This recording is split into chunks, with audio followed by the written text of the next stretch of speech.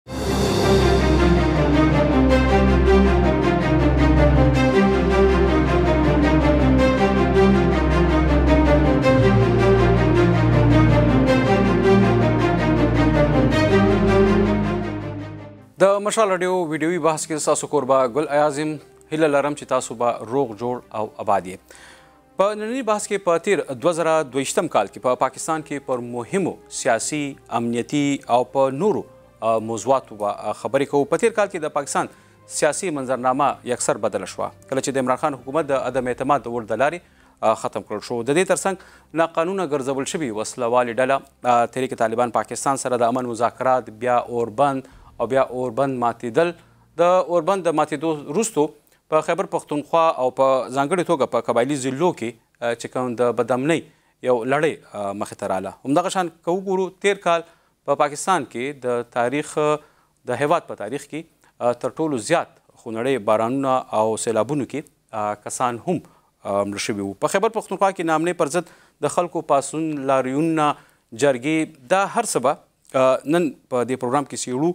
ما سره په پروګرام کې خبریال او شنونکی هارون رشید صاحب ملمه دی هارون رشید صاحب تاسو ته په پروګرام کې هرکلی وایم مننه ایاز ګل هم ما سره په پروګرام کې دویم ملما شنونکي خبريال او د وار زون کتاب لیکوال عقیل یوسفزی صاحب هم ملمه دي عقیل صاحب تاسو هم په پروګرام کې هرکلی وایم ډېره مننه. ستاسو دواړو مشرانو ډېره زیاته مننه چې تاسو وخت ویستلو او د مشال راډیو په دې بحث کې راسره تاسې برخه اخلي. پوښتنې ډېرې زیاتې دي او که موږ دا په دې معنی کینو نو ډېر وخت به لګي. خو که هارون صاحب تاسو ته په لومړي سر کې راشم، څنګه ګورئ د سیاست له پلوه دوه زره دوه ویشت کال پاکستان لپاره څنګه وو د نورو کلونو پرتله؟ زما په خیال دا کال چې یو سیاسي توګه باندې ډیر زیات کڼکېچن نو او مونږ چې په پاکستان تاریخ کې پهل ځل وکتل چې یو منتخب وزیر اعظم چې دی هغه د عدم اعتماد د لارې کور ته ولېګل شو نو دا چرته مخکې نو شوي نو دینا تاسو اندازا لګولې شي چې سیاسي بدلون سونه د کال آغاز کې شروع شوی وو چې کله عمران خان او د فوج ترمنځ چې کوم ون پیج والا کیسه واغه ختم شوه نو هغه نه پس اچانک پی ډی ایم چې د اپوزیشن هغه وخت اپوزیشن ګوندونه چې وو هغه څنګه متحرک شو او بیا څنګه عمران خان خپل اکثریت وبیلله او بیا هغه نه پس هغه چې کم کله حکومت ختم شو نو بیا د جلسو جلوسونو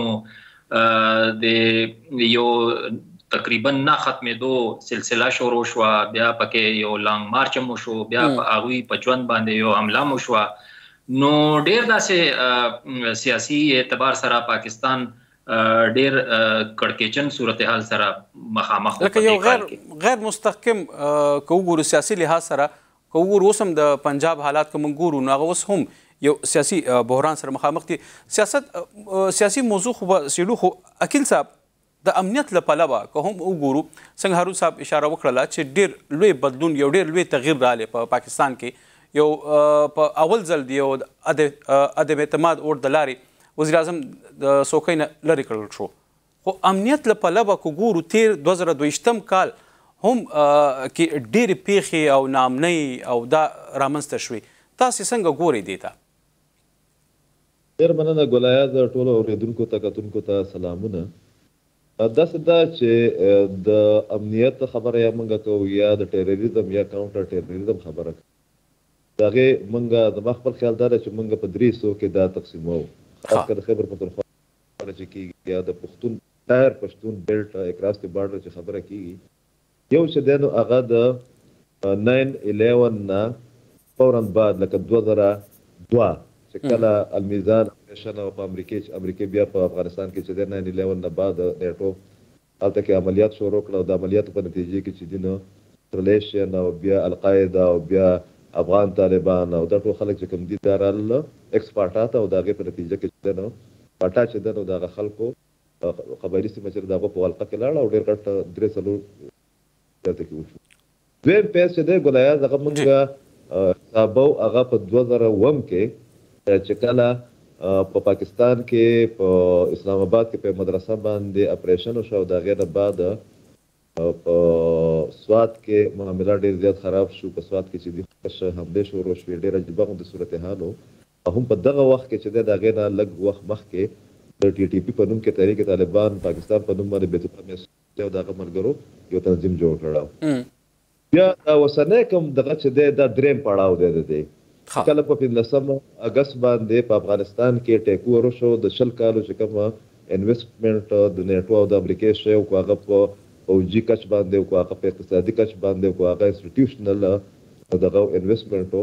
او هغه چې دی د یو ډیزاسټر سره مخ شو د دوحه اګریمنټ نه بعد د هغې په نتیجه کې چې کوم هغه د ټي ټي پي تقریبا لس زره خلک چې کوم اسټیمیټیډ فیګر دی هغه تللي وو د دغه اپریشنونو په نتیجه کې افغانستان ته او هغوی څه له جیلونو نه را خلاص شو څه چې کوم دي نو هغه د غرونو نه را کوز شو څه چې کوم دي د ټکانو نه را دغه شو او د هغې په نتیجه کې په پاکستان باندې خاص کر په خیبر پښتونخوا باندې د اګست دوه زره یوویشتم نه بعد یو یرغل وشو نو که موږ د دې ګولیاز دغه کوو د فیګرز ګورو هغه داسې دي چې د پنځلسم اګست دوه زره یوویشتم نه واله د پنځلسم اګست دوه زره دویشتمه پورې دا د یو کال چې کومه دورانیه ده په دې کې په پاکستان کې تقریبا کوم چې غیر سرکاري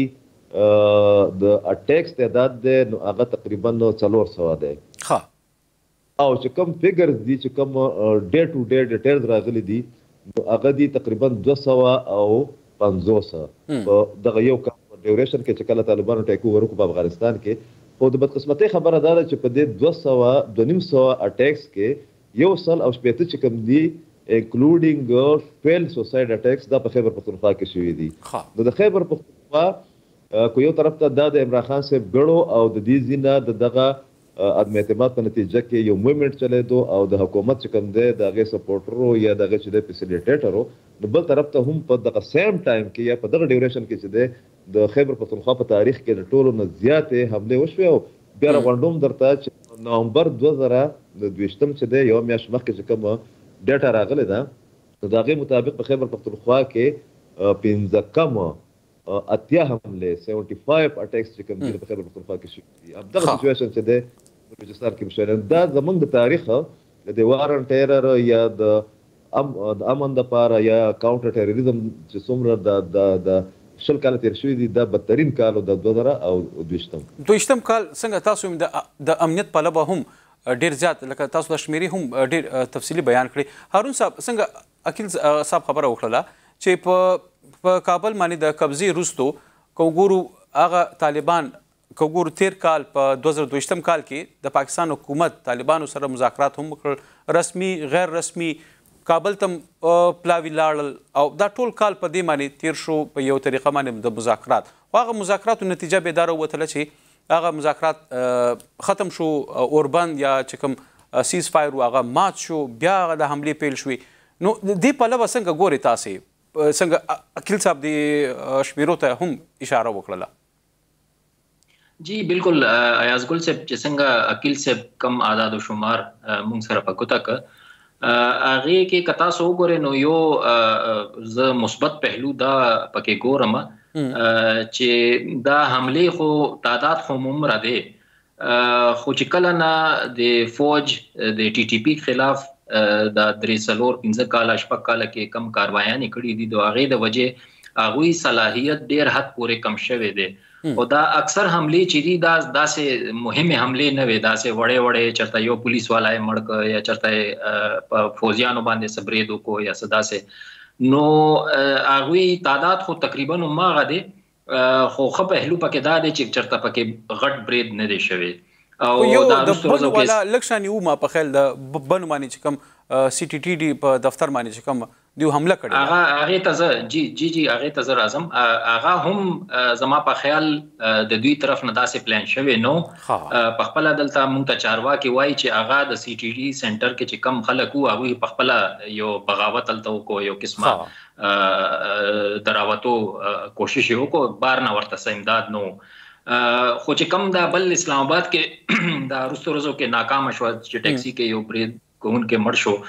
نو هغه داسې ښکاري چې زما خیال دغه و چې کله نه د 28 نومبر باندې دوی خپل اوربند چې ختم کړی دی نو هغه نه پس هغه کوشش دا و چې یو داسې غټ برید وکړي چې هغه سره هغه خپل یو دوباره خلکو ته دا یو هغه ورکی پیغام ورکی چې هغه دوباره دی ار بیک ان بزنس او او هغه هغه چې دی دکان هم هغه سه بیا دوی کولاوي لګیا دي نو اوس ګورو کاروایان خو تیز شوې دي نن د قومي سلامتي کونسل غونډم شوې ده او هغه کې هم دوی په کلکه دا خبره کړې ده چې ټیرریزم په پاکستان کې نه پریدي نو دا مخکینه کال چې دی هغه کې به بیا دا پته لګي چې اوس نوې فوج کمان هم بدل شوی دی هغه خپل سیاست نه یو سایت ته کېدو هم اعلان کړی دی په پیل ازل چرته آرمی چیف دا سه یو اعلان کړی دی نو هغه نه پس اوس د دوی په کار خدا دی چې ټول توجه انرژیز چې دی هغه په دې دهشتګردۍ او د ملټنسي باندې فوکس شي نو امید کولی شو چې کې دي شي دا راتلونکو کال کې د فوج کاروایانې به زیاتې موثرې به وي او ټي ټي پي چې ده هغه به یو طرف نه خو دلته نه بم پریشر یو بل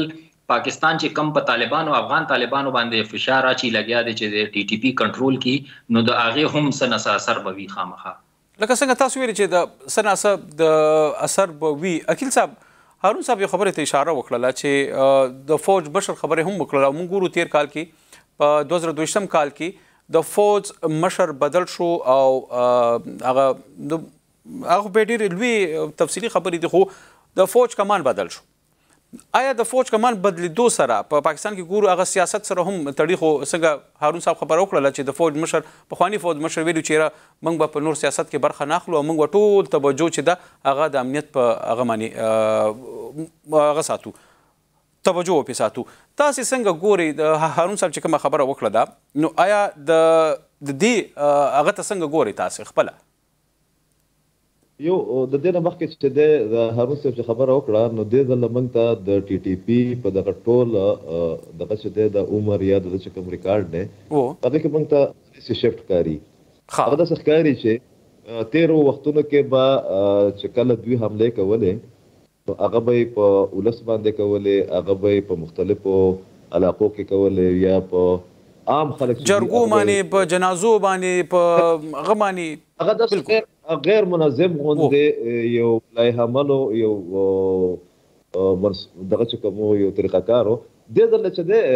ګلایه زه موږ ته داسې ښکاري چې دوی ډېر په پریپریشن سره، ډېر د یو نوي پلانینګ سره چې کوم دی، دوی صرف د پاکستان سیکورټي فورسز چې کوم دي هغه په نښه کوي لکه مثال په تور له د په 2000 د روان کال چې کوم دی 2023 کې ما چې په هغې باندې څومره کار کړی دی نو د خیبر پښتونخوا تقریبا په اتلس ضلعو کې چې دی حملې شوې دي په دې اتلسو کې د پولیس چې کوم ډیټا ده نو د هغې مطابق تقریبا په دې اتلس ضلعو کې چې کوم حملې شوې دي د ډیټا مطابق په دې کې 71 خا. یو او یا حملې چې کوم دي هغه په پولیس باندې شوي دي نورې چې دي هغه په پوج باندې شوي دي هغه په هغه خلکو باندې شوي دي چې هغه به دوی ګڼل چې دا د پوج حامیان دي نو دوی خپل عمل چې دی هغه بدل کړی دی او هغه دا دی چې دوی دې ځل لا سټیټ چې کوم دی مخکې سوسایټي ټارګټ کوله دې ځل سټریټیجیک هم دی د دې وجه نه نن چې کوم اجلاس شوی دی کوم چې هارون صاحب ته اشاره وکړه چې د هغې په باره کې داسې اطلاعات هم دي لا تر اوسه پورې کنفرم شوي نه دي خو هغه دا دی چې پاکستان چې دی په ډېر غټ لیول باندې یو نوې تجربه کوي د اپریشنز د پاکستان په مختلف علاقو کې خاص کر په خیبر پښتونخوا کې او په بلوچستان کې دغه چې کوم تاسو د عدم استحکام خبره وکړه یا د پوج د نوی کمان خبره وکړه ګوره په دې کې دا چې د پوج د سیاست نه یو طرف ته شو او پوج دا خبره وکړه چې موږ به په سیاست کې حصہ نه اخلو موږ به په خپل کوم پروفیشنل زموږ کارونه چې دي په دې کې د موجوده آرمي چیف چې کوم دی دا پکې کی پلیئر او په دغه وخت کې چې کله باجوا صاحب د آرمي چیف وو اطلاعات خو را روان دي کنه چې ده به دا خبره کوله چې روره د عمران خان پراجکټ چې کوم وو دا وایند اپ کول پکار دي دا لرې کول پکار دي د پاکستان چیلنجز چې کوم دي د سیکیورټي او د اکانومي هغه ډیر زیات سنګین دي او اخیري چې کوم کور کمانډر کانفرنس شوی وو د هغې په باره کې چې دی ډیر د پاکستان یو ډیر معتبر صحافي چې کوم دی حامد میر صاحب هغه خبر بریک کړی وو چې په هغې کې د ټولو زیات خبرې هغه ده کړې وې او ده دا ویلي وو چې یاره نو مور دغه پوره دغه شي نه وشو کې دلته کې مکتب سرحدونه باندې دغه دي دویم د سپیشلټی دا ده ګلایا ده جی چې د بیک وخت دا د پاکستان د آرمي په هغه یو څو جنرالو کې دی چې د بیک وخت په یو طرف ته آرمي چیف جوړ شو کور کمانډر پاتې شوی دی د بل طرف ته د د ملټري انټيليجنس او د آی اس آی چیف هم پاتې شوی دی د افغانستان په حواله باندې د باجوا سره په مقابله کې یا د بل جنرال په مقابله کې د اسم منیر چې کوم سپیشلټیز دي هغه زیات دي او دا بل چې کوم دی سره صاحب شمشاد صاحب دا عجیبه خبره ده چې د سپیشلیټیز هم دا دي چې دا بارډر باندې چې څومره به ایشوز به کېدل د فکسینګ سمیت یا د افغانستان سره معاملات چې به نیټو سره کېدل یو ټیم کې د پاکستان د آرمي له طرفه دغه چارج هم پاتې شوی دی نو زما خیال دا دی چې موجوده چې کوم دوه چیفز دي د آرمي په لیول باندې دا دواړه د باجوه صاحب نه ډیفرنټ ټی او دوی ښکاری داسی چه د ده چه کوم پیښور ته اولنی دوره شوی وه د هغه لکه ستاسو په نظر باندې د دوی تګلاره هغه بدله ده د مخکینی هغه نه خو دې کې یو پوښتنه زما راپورته کیږي او هغه به هارون صاحب مخې ته کیدم اکین صاحب تاسو خبره وکړه چې د لوی کچه باندې دوی د اپریشن پلان لري خو هارون صاحب کو ګور په 2022 کال کې په لویه کچه باندې خلکو پاڅونونه وکړل، احتجاجونه یې وکړل او ویې ویل چې یره موږ به د اپریشن او د دې دې خلاف یو او د وسله والو خلاف عملیات پکار دي. نو څنګه ګورې تاسې دې ته څنګه ګورې؟ ګورې دا خو د خلکو یو یره ده چې کوم دوی باندې وخت تیر شوی دی خاص کر په سوات کې ډیر زیات احتجاج پې شوی دی. او حکومت نه دا مطالبې شوي دي چې دوی دې د ټي ټي پي دلته بیا واپسي چې دا هغه ناکامه کی نو هغه خو د دوی یو تاریخ دی دوی خپل کورونه پرېخي دي په پناګوزینو په شانته نور زینو کې وخت تیر کړي دي نو ډېر سخت وخت په تیر شوی دی کاروبارونه ته خراب شوي دي نو اوس دوی نه غواړي چې ماغه حالات به بیا پیدا شي خو زما چې کوم اطلاعات دي په افغانستان کې زما یو ملګری و پرو د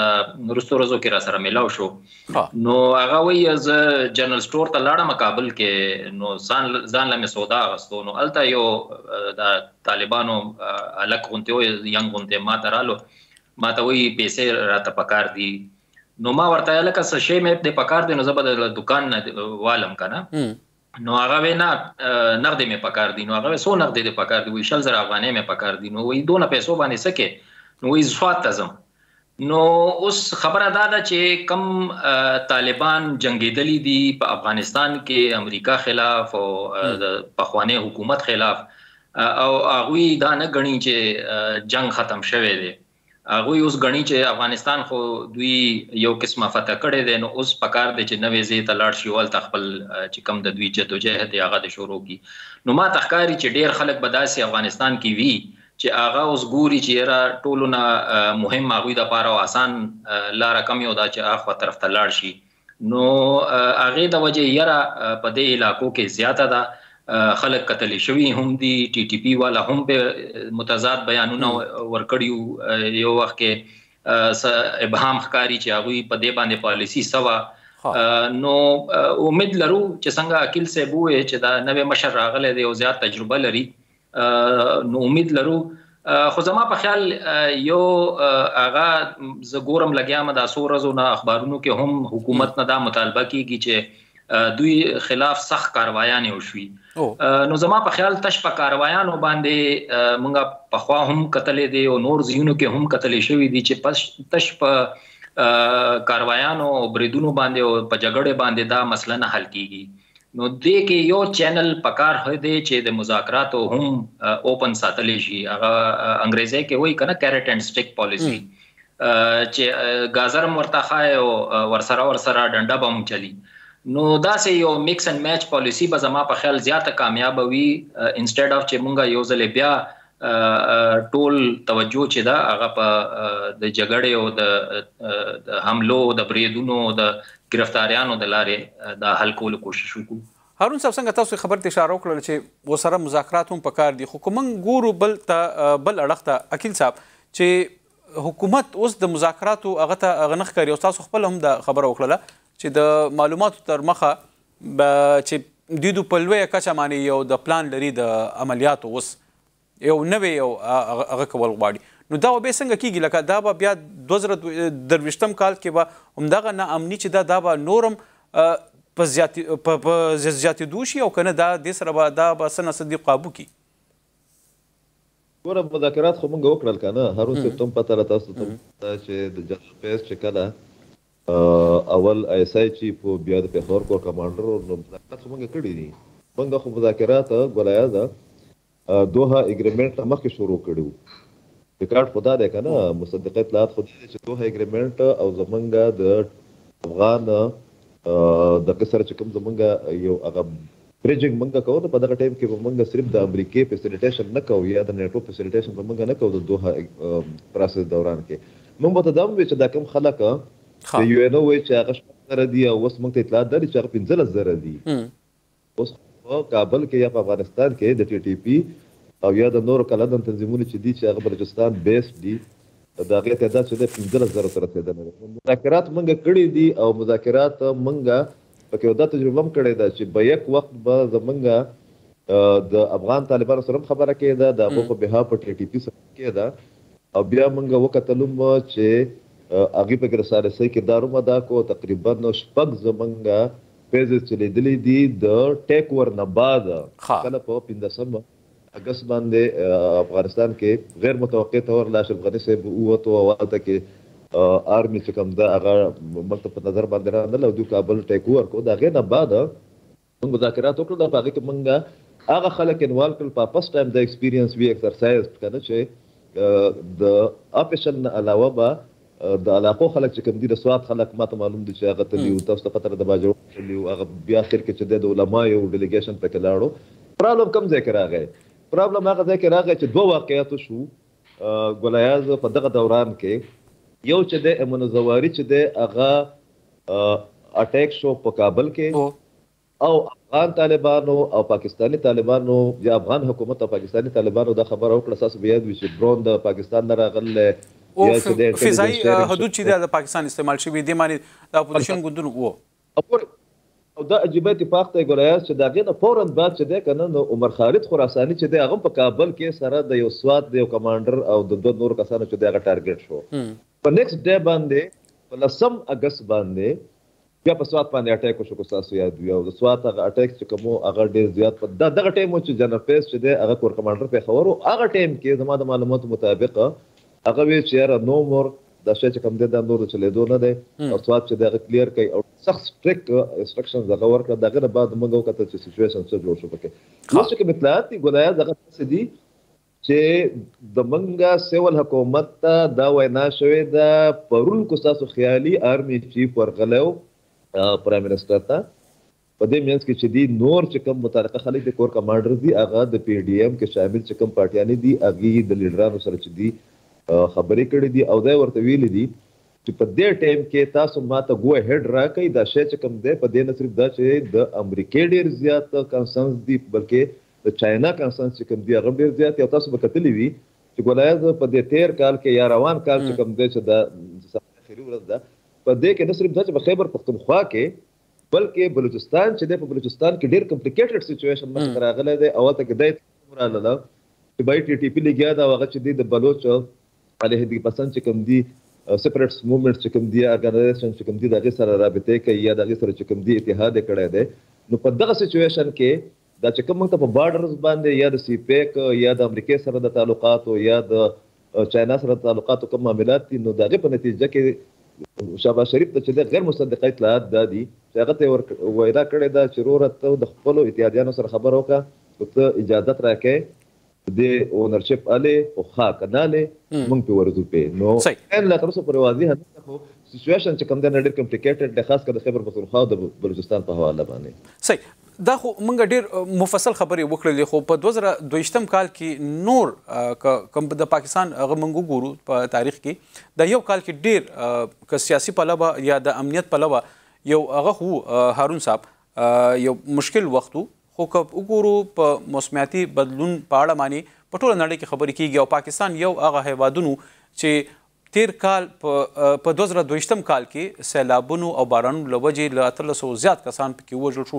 او د پاکستان لويه برخه يې د اوبو هم لاندې کړله. جی بالکل ګلیا صاحب ډیر د بدقسمتۍ خبره ده چې په ټوله دنیا کې پاکستان هغه لس هیوادونو کې شامل دی چې چرته د موسمیاتي بدلون اثرات چې دي هغه یې رم دغه دا چې ټولو نه زیات وي او دا کال دغه خبره په ډاډه پروف کا چې او هم دغه سیدا دا دونه اوبو چرته په پاکستان تاریخ کې زما په خیال په دریاونو کې دریابونو کې نه دی راغلی چې سونه دا سند پکې هغه شو ډوب شو سونه بلوچستان ته متاثر شو اوس هم چې مونږه خبرې کوو نو 10% سند علاقہ دا سدا چې هغه ویلته اوبو اوسم ولاړ دي او دا هغه د وجه چې کم الته بیماریانه او نور مسایل چې دي هغه لا اوس هم پاتې دي چې ورته پرایم منسټر دا روسته روزه ورته اعلان هم کړی دی چې موږ به یو امدادي پروګرام به پکې شروع کوو نو بدقسمتي دغه دا دا او پاکستان خو په هر ځای کې هر کانفرنس کې ایجپټ کې هم کوپ والا کانفرنس چې شوی واغې کې دا خبره وکړه چې دا پولوشن او دا انټرنیشنل چې کم هغه کوي هغه کې پاکستان حصہ چې دا هغه یو برخه چې دا یو فیصد ده خو چې کوم اثرات دي هغه د لس هیوادونو کې یو هیواد دی چې چرته ډیر زیات بکیږي نو پکار دغه دی چې هغه مخنوي وشي پاکستان خو امداد د پاره لاس مخکې کړی دی چې مونږ سره ودرېږي او مونږ سره امداد وکړي زمونږ په خپل په دې پاکستان کې چې څنګه ونې کټ کیږي څنګه ځنګل ختميږي لګیا دي او څنګه ټریفیک زیاتې دی او باندې دی او خلکو څنګه غټ غټ گاډي او څنګه د پټرول او هغه ګرانی باوجود مونږه د ټریفیک کې چرته کمی را نه لا نو هغه پکار دا دی چې مونږه خپل ذاتی حیثیت باندې داسې لارې او هغه هغه کوچې هغه کې د موسمیاتي اثرات کم شي سایکل ته اوس خبرې کیږي لګیا دي چې الکه خلکو سایکل باندې کار نږدې چرته کار دی نو په سایکل لاړ شي یا ګاډي راوستل ضروری نه دی داسې ورکوټه ورکوټه ګامونه دي چې مونږ والو نو کې دي شي چې س ډیر په لیمیټډ هغه به خو خو د راتلونکو وخت کې مونږ لپاره ډیر ضروری وي صحیح هارون صاحب د پروګرام اخري شپې هم دی اکیل ستاسو مخې ته به دا یو اخري پوښتنه ږدم چې سیاسي پلوه دوه زره درویشتم کال څنګه ګورئ تاسې؟ دوه درې آپشنز دي ګلایاز ډېر کمپلیکیټډ سچویشن دی ډېر عجیبه غیر یقیني صورتحال دی او د دې چې دی نو بیا به زه خبره کوم چې د دې به ډیسیژن اخیستی کیږي یا ډیسیژنز به اخیستی کیږي زمونږ چې کوم د سیکیورټي سیچویشن دی ځکه چې دا ډیر زیات کمپلیکیټډ دی او په دې باندې انټرنیشنل فوکس چې کوم دی نو هغه ډیر زیات دغه دی دا موږ ویلی شو چې مرکوز دی پې زما خپل خیال دا دی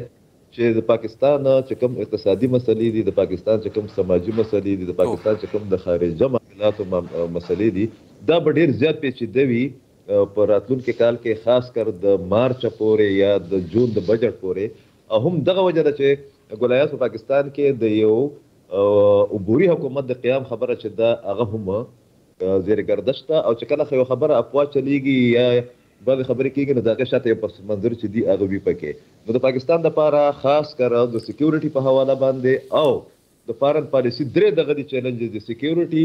اکانومي او فارن پالیسي نو د دې کو د حکومت زما خپل معلومات داري چې د حکومت کو په یو میاشت دوه کې خپل ځای ونه او اعتماد خپل بحال نکو او د عمران خان په شکل کې چې کومه پاکستان باندې یا د پاکستان په حکومت باندې په سټیټ کې پرشر دی دا یو سیټ ته نکو نخکاری داسې چې که د دې حکومت اټرنیټ چې کوم دی په هغې باندې به غور کېږي خو په پاکستان کې په دوه زره دېرشتم کې چې دی